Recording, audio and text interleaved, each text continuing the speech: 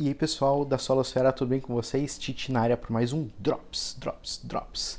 Se você, assim como eu, quer utilizar miniaturas e, e personagens para jogar, mas não tem eles, não, nunca comprou, não tem, não tem impressora para imprimir aqueles de papelzinho bonitinho para você dobrar e não está saindo na pandemia, fica uma dica até boba, mas acho que pode ajudar alguns.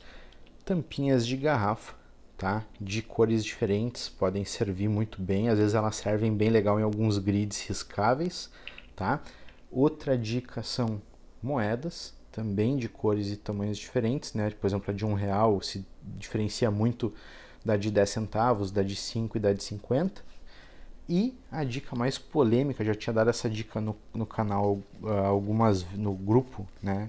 Algumas vezes, é você pegar aquelas cartas de Magic ou Pokémon ou alguma outra carta que você tenha, que são aquelas que custam um centavo, são reimpressas todo ano, nunca vai usar, tá jogada num canto, numa caixa de sapatos, você tem 50 versões daquela carta que custa meio centavo, você pode pegar ela e pegar a moeda, botar em cima para fazer um tokenzinho ou, ou simplesmente fazer um recorte nela para utilizar. Eu sei que algumas pessoas acham que isso é pecado, mas vocês sabem que às vezes você tem 10 cartas daquela que você nunca usou, nunca botou no teu deck, tá naquele, tá naquela caixa que é o lixão, né, que o pessoal comenta, tá embaixo da cama pegando mofo. Talvez pode servir, fica a dica.